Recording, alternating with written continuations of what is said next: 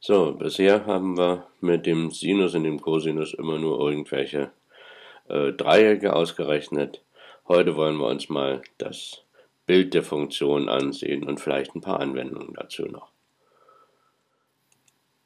Den Kreis kennen wir. Mittelpunkt, Punkt C und den Punkt C lassen wir jetzt wandern auf der Kreislinie. Jetzt aber nicht mehr die Tabelle, sondern ein Koordinatensystem. In der x-Richtung den Drehwinkel und in die y-Richtung die Höhe von dem Punkt C, das reicht, wenn wir das bis 1 zeichnen. Der erste Punkt ist einfach, 0 Winkel, 0 Höhe, da ist er und das tragen wir auch dort in die Koordinatensystem ein. Und jetzt geht's los. So, 15 Grad, erster Punkt, 30 Grad, 45 Grad, 60 und so weiter, 75 Grad, 90 Grad, jetzt sind wir erstmal am Schluss. Und wenn wir uns die Punkte genau angucken, sehen wir, dass es keine Gerade, sondern irgendwas Krummes. So. Ja, klar, bei 90 Grad geht es ja nicht weiter nach oben. Wenn wir noch ein Stückchen weiter drehen, wird es sogar wieder kleiner. Das müssen wir uns noch mal ein bisschen besser angucken hier. Deswegen kleiner Kreis. Da können wir den Zeiger die ganze Runde rumlaufen lassen. Und das wollen wir jetzt mal mitzeichnen. Okay, wir starten also bei 0 Grad und 45 Grad. Bei 90 erreichen wir die 1 und dann geht es wieder bergab.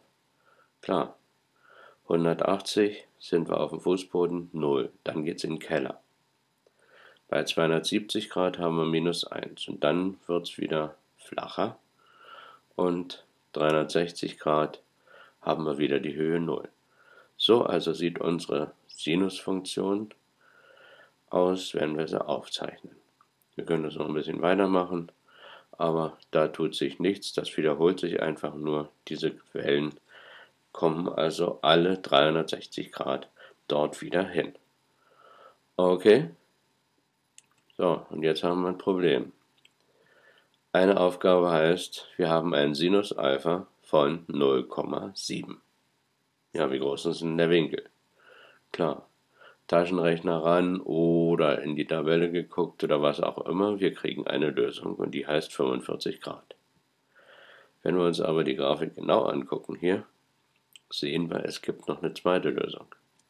Und zwar 135 Grad. Was dem einen Winkel an der 90 fehlte, hat der jetzt zur anderen Seite noch drauf.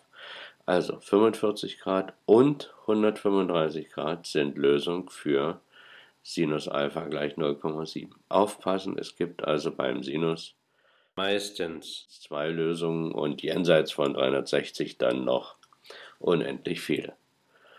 Aufpassen hier, wenn es also heißt, Sinus Alpha ist gleich. Ja. Wird es physikalisch. An den Balken hängen wir dort ein Gewicht dran, ziehen das zur Seite und lassen es halt pendeln. Ein wunderschönes Spiel für die Winkelfunktion. Ja, Mathematisch natürlich ordentlich. Vollausschlag nach links plus 1, in der Mitte 0. Vollausschlag nach rechts minus 1. So, dann ziehen wir den Klumpen mal zur Seite und lassen los. Na komm. So, und das könnten wir mitzeichnen. Minus 1, 0, plus 1 wieder und wieder zurück zu 0 und so weiter. Ich kann alle möglichen Pendeleien, ob das die Kinderschaukel oder das Präzisionsurpendel ist, ich kann alle solche Pendeleien beschreiben mit dem Cosinus. Ja, okay, also Winkelfunktionen gut nutzbar in der Physik für Schwingungen, Pendel und so weiter.